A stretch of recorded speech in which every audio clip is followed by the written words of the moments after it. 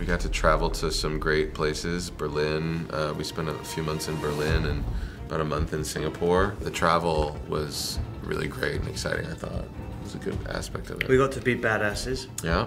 Absolutely. There's that. which is great. A lot, lot of killing here.